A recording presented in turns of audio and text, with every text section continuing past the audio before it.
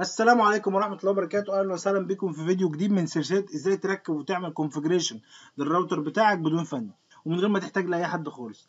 موديل الراوتر بتاعنا النهاردة هو HG 633 وده راوتر VDSL خلي بالكم.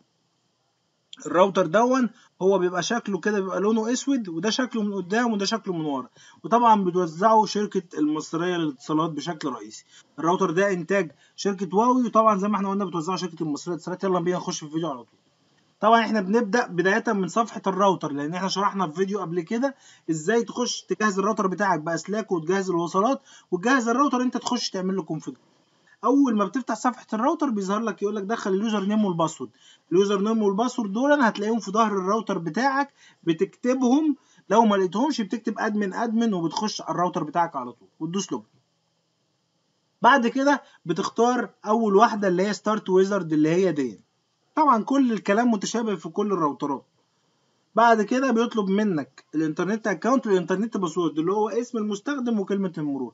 واسم المستخدم وكلمه المرور زي ما بنقول كل مرة هم عبارة عن اسم المستخدم وكلمه مرور بتبعتهم لك شركة الاتصالات بمجرد ما بيتفعل خط الإنترنت بتاعك. هو بيبقى عبارة اسم المستخدم بيبقى عبارة عن رقم at data dot net وال password بيبقى عبارة عن رقم.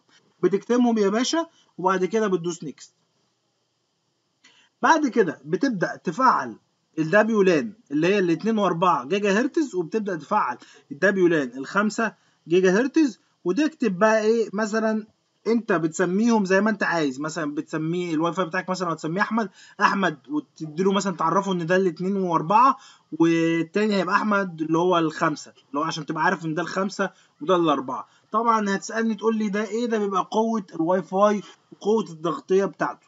تمام؟ وبعد كده بتكتب ال password بتاعك يا باشا وهو بيقول لك إذا كان قوي ولا مش قوي. وطبعا هنا بتعلم على دي عشان تظهر ال password عشان تكتبه في ورق عشان ما تنساهوش بعد كده. وبعد كده بتدوس save بعد ما بتخلص طبعا لو انت عايز تغير ال password بتاع دخولك على الراوتر نفسه عشان يبقى فيه أمان محدش يخش يلعب وراك بتدوس على 200 وبعدها بتختار account management وبعد كده بتيجي هنا على admin دي وتدوس edit وبعد كده بتخش تغير ال password بتاعك اللي هو بتكتب ال password القديم وبعد كده تكتب ال password الجديد وت confirm ال password الجديد وتدوس save بعد كده هنعمل خطوة مهمة جدا عشان نأمن الراوتر بتاعنا ونأمن الواي فاي بتاعنا بتدوس على كلمة home network وبعد كده من الجنب بتدوس على WLAN access وبعد كده بتفتح WLAN WPS دي وتقوم معلم عليها تشيل من عليها علامة الصح. اوعى تسيبها عليها علامة الصح. إحنا بنلغي ال WPS دي ليه يا جماعة؟ بنلغيها عشان ال WPS دي خاصية في الراوتر ممكن أي حد يسرق ال password بتاع الراوتر بتاعك من خلالها. فاحنا بنلغيها عشان نأمن الراوتر بتاعنا. وبعد كده بندوس save على وبعد كده بنخش على home network ونختار WLAN settings وبعد كده بنختار WLAN encryption وبعد كده بنعمل إيه؟ بنتأكد إن كل الحاجات دي معمولة زي ما إحنا عاملينها ونتأكد طبعا ال security mode ده اللي هو WPA و WPA2 ونتأكد إن ال encryption mode هو TKIP زائد AES عشان ده أعلى encryption أو أعلى تشفير لل password بتاعك محدش يقدر يسرقه. وبعد كده هتدوس على hide broadcast دي تعلم عليها آه تتأكد إن هي مش متعلم عليها صح وبعد كده تدوس save